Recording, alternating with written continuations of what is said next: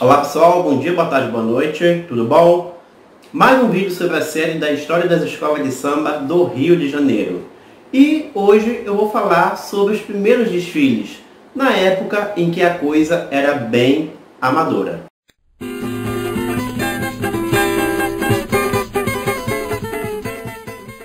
Eu vou dividir esse vídeo em dois momentos. Inicialmente, eu vou mostrar como eram as estruturas desses desfiles e os seus regulamentos.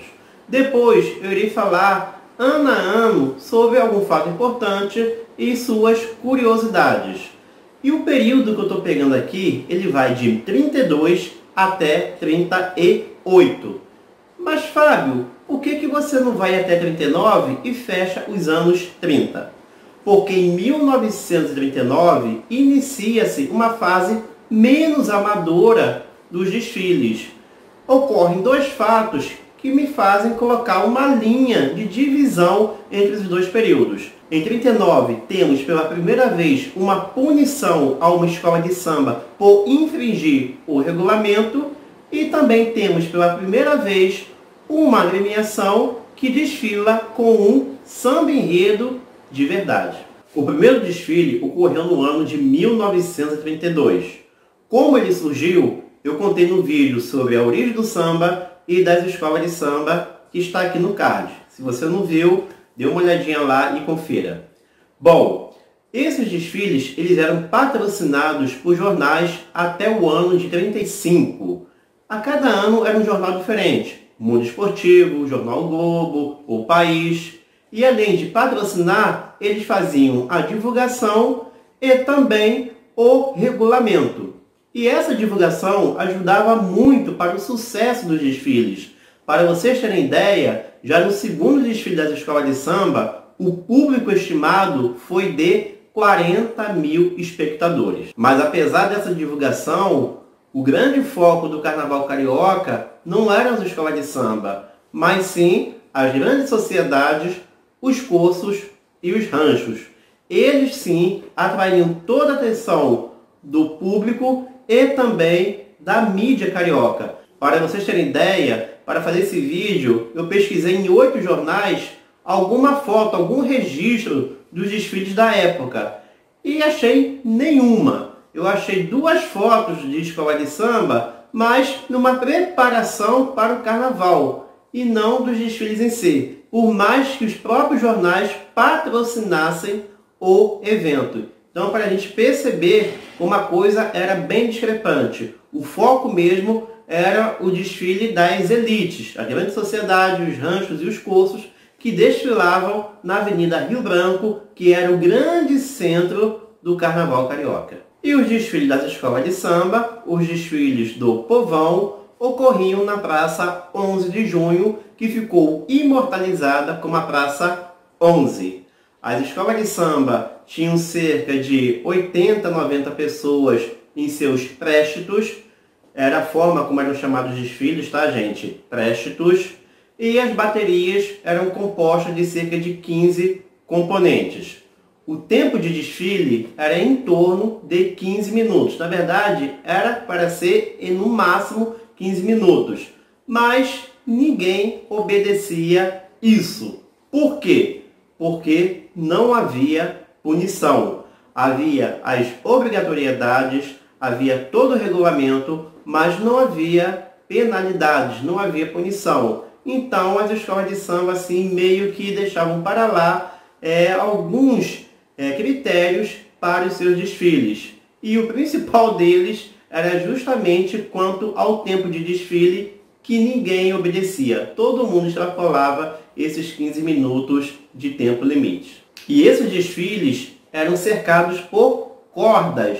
Normalmente seis pessoas levavam essas cordas que serviam para separar os componentes das escolas do público e também servia para frear a agremiação que começasse a ter uma evolução mais apressada. Então o pessoal da corda acabava puxando para trás, fazendo aquela pressão para dar uma amenizada no andamento da galerinha mais apressada que ficava à frente das escolas de samba. E voltando a falar um pouco mais de regulamento, era terminantemente proibido ter instrumentos de sopro. para não fugir do ritmo samba. E era obrigatório ter baianas. Preste atenção, baianas. Não é ala das baianas. Poderia ser uma pessoa só fantasiada de baiana. E essa pessoa poderia ser um homem, coisa bem comum naquela época. Os homens se fantasiarem de baiana e desfilarem nas escolas de samba. Sobre alegorias, foi uma questão bem polêmica nesse período, porque quando Ismael Silva fundou a Deixa Falar, que foi a primeira escola de samba do país, ele não queria alegorias. Afinal de contas, a ideia era se afastar dos ranchos, das grandes sociedades que tinham seus carros alegóricos. Porém, as escolas de samba acabavam é, trazendo seus carros alegóricos, suas alegorias, assim, bem modestas, mas bem modestas mesmo.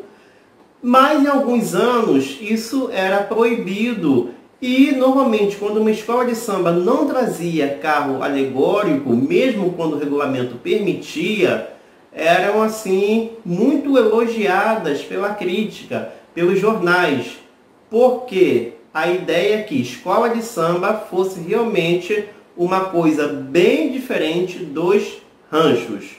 Mas com o passar do tempo, vimos que isso acabou não vingando. Os carros alegóricos hoje fazem parte do espetáculo e são uma grande atração dos desfiles. Os quesitos de julgamento mudavam ano a ano, porém alguns sempre se repetiam, como harmonia, bateria, samba, originalidade, bandeira e comissão de frente. E sendo que esses quesitos tinham peso, em alguns anos é, alguns quesitos pesavam mais do que outros. E normalmente o maior peso era para o quesito harmonia. Tanto que a Tijuca foi campeã em 1936 por ter a melhor harmonia. Não por ter a maior pontuação, mas sim por apresentar a melhor harmonia daquele carnaval. Mas parece meio estranho, né? Por que harmonia e não samba? Por que, que o samba não tinha o maior peso? Então, aí que vem a grande questão desse período, dessa fase mais amadora das escolas de samba. Primeira coisa, não eram sambas enredos, mas sim samba. As escolas de samba tinham permissão de cantar até três sambas, mas na prática elas escolhiam dois, um na ida e outro na volta. A ida era da concentração até o coreto onde estava a comissão julgadora. E o outro samba era cantado a partir da retirada desse coreto. E esses sambas só tinham a primeira parte. A segunda parte era improvisada por versadores, o equivalente aos repentistas que a gente conhece nos dias de hoje. Então, esses versadores, eles improvisavam versos daquilo que eles viam ali na hora dos desfiles e também acabavam puxando é, canções, estribilhos populares para chamar o público para participar desses desfiles. Então, era complicado avaliar samba, porque na prática, de modo geral, era uma coisa improvisada. Então, o que valia mesmo era o canto dos componentes, ou seja, a harmonia. E só mais uma coisa para eu fechar aqui essa parte geral dos desfiles. Estes sambas, eles não conversavam com os enredos. Ou seja, era uma coisa assim que não havia é, essa obrigatoriedade do samba enredo contar a história proposta. Então, uma escola de samba poderia ter um enredo sobre a natureza, mas o seu samba poderia ser sobre qualquer coisa. Ou pelo menos era assim que ocorria. Não havia, como eu falei, penalidade.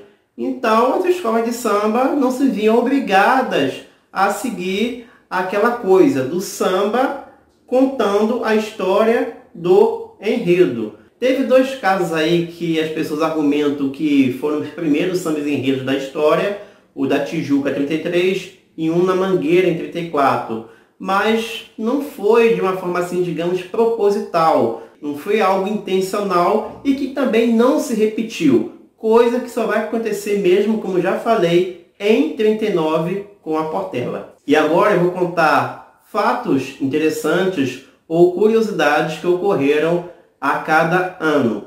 E, obviamente, começando pelo ano de 32. E o primeiro desfile das escolas de samba, ele foi promovido pelo jornal O Mundo Esportivo do jornalista Mário Filho.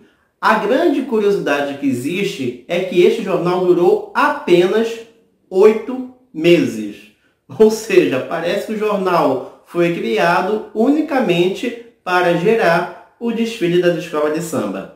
19 escolas participaram do concurso, a campeã foi a Mangueira, mas o samba que fez sucesso nesse desfile foi a da Vai Como Pode, que depois virou Portela. Vamos conferir um pedacinho desse samba? Olha só, será que esse samba hoje em dia daria certo? Preste atenção na letra. Esse foi o primeiro samba enredo da Portela, hein, gente boa? Lá vem ela, chorando, o que é que ela quer? Pancada não é, já sei. Mulher dá um dia quando começa a chorar. Quer dinheiro, dinheiro não há, não há. Carinho eu tenho demais pra vender e pra dar. Pancada também não há de faltar. Dinheiro, isso não, eu não dou a mulher. Faço terra, o céu e as estrelas se ela quiser mais dinheiro não. No ano seguinte, 35 escolas de samba desfilaram na Praça 11. O desfile foi patrocinado pelo jornal O Globo. A Mangueira foi bicampeã. No ano de 34 foram realizados dois desfiles. Um no dia 20 de janeiro, no Campo de Santana, em homenagem ao prefeito Pedro Ernesto. A campeã foi a Mangueira, mas quem saiu exaltada foi a Portela, por ela não vir com alegorias. Dias depois, ocorreu o desfile durante o carnaval e a Mangueira se recusou a desfilar porque não queria colocar seu título à prova. Esse campeonato ocorreu no Estádio Brasil, se não me engano era o Estádio do Bom Sucesso na época, e a campeã seria por voto popular e venceu a extinta escola de samba Recreio de Ramos. No mesmo ano, ocorreram dois fatos importantes no período fora do carnaval. O primeiro deles foi a fundação da União das Escolas de Samba, no qual todas as escolas de samba deveriam se filiar para poderem desfilar. E uma das curiosidades que tem é, quanto a essa nova liga, né, surgimento dessa liga, melhor dizendo, foi que ela colocou logo de cara no seu regulamento que os temas, os enredos deveriam ser unicamente nacionais, mostrando aí um pouco do Brasil que se desenhava e que acabou gerando, né, que acabou culminando no Estado Novo de Getúlio Vargas. E o outro fato importante ocorreu numa delegacia. O delegado Dulcídio Gonçalves que queria, digamos assim, dar uma nova ordem aos desfiles, ele acabou obrigando a todas as agremiações colocar a sigla GRES, Grêmio Recreativo Escola de Samba, para que todas elas pudessem ter uma fácil identificação. E com todas as agremiações, todas as escolas de samba deveriam ir a essa delegacia para renovar sua licença, ele acabou colocando uma condição para essa renovação de licença. Ele não queria a escola de samba com o nome esdrúxulo, como por exemplo, vai como pode. E aí, um dos seus fundadores, o Paulo Benjamin de Oliveira, ficou numa situação embaraçosa. Ele queria renovar a licença da Vai Como Pode e não podia. O delegado bateu o pé, disse que com esse nome não poderia dar licença e que uma escola daquele porte, como era aquela agremiação de Oswaldo Cruz, deveria ter um outro nome. E Paulo Benjamin de Oliveira tinha o apelido de Paulo da Portela. E acabou que o delegado sugeriu que essa escola de samba passasse a se chamar Portela. Paulo não viu outro jeito, aceitou a sugestão e acabou que o nome Portela ficou até os dias de hoje e com muito sucesso. E em 1935 tivemos o primeiro desfile oficial da história, aquele organizado pela prefeitura. Até então, os desfiles que ocorreram anteriormente, eles eram organizados e patrocinados por jornais. O patrocínio de 35 ainda foi feito por um jornal, o jornal A Nação, mas o regulamento e a organização ele foi feito pela prefeitura, inclusive dando subvenção às escolas de samba. E a campeã desse ano foi a Portela. Foi mudar de nome que os títulos começaram a surgir. E chama atenção que no regulamento foi proibido as alegorias e o quesito samba não foi julgado porque era muito difícil para os jogadores avaliar uma coisa que era no improviso. Em 1936, 22 escolas de samba desfilaram e a grande campeã foi a Unidos da Tijuca, que teve a melhor harmonia. Nesse ano, as primeiras colocações eram definidas para quem fosse melhor em determinado quesito. O primeiro lugar para harmonia, o segundo lugar para samba e o terceiro lugar para bateria. E teve uma novidade. As letras de samba deveriam ser entregues com antecedência para a união das escolas de samba, que posteriormente entregariam aos jogadores. E foi a partir daí que gradativamente a era do improviso no samba começava a cair. E vamos conferir aqui a letra do samba que eu gosto muito, que é o da Portela desse ano de 36, Cidade Mulher.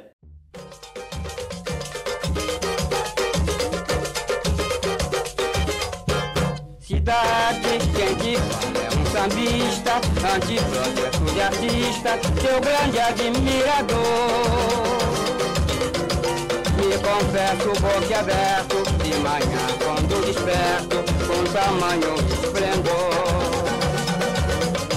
Quando o infinito apresenta tão bonito, trajando azul Vale o sol lá nas alturas, dando maior formosura, a margem da dama do Brasil. O ano de 37 não foi legal não, pois das 32 escolas de sambas que estavam previstas para desfilar, apenas metade conseguiram realizar os seus préstos. O mesmo delegado que obrigou a Vai Como Pode mudar de nome para Portela acabou encerrando os desfiles no meio da festa. E diz até que apagaram as luzes da Praça 11. Ele achou que estava muito tarde, que as escolas não obedeciam o tempo limite, então acabou com o desfile ainda pela metade. E ficaram algumas escolas importantes fora da disputa, como a Mangueira e a campeã do ano anterior, a Unidas da Tijuca.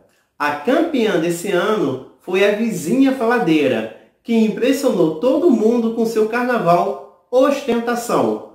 Trouxe na comissão de frente um carro, logo atrás seis homens sobre seis cavalos, alegorias luxuosas, grandiosas, riquíssimas e até uma espécie de orquestra com instrumentos de sopro. Nesse ano não foi proibido instrumento de sopro, tá gente? Foi o único ano que não foi proibido. E a vizinha faladeira trouxe uma espécie de orquestra à frente da bateria. O que causou um bom impacto, tanto que foi campeã, mas ao mesmo tempo muitas críticas, tanto por parte da imprensa quanto por parte dos jogadores, que reclamaram que a escola de samba acabou se aproximando muito de um rancho. E para fechar, o ano de 38.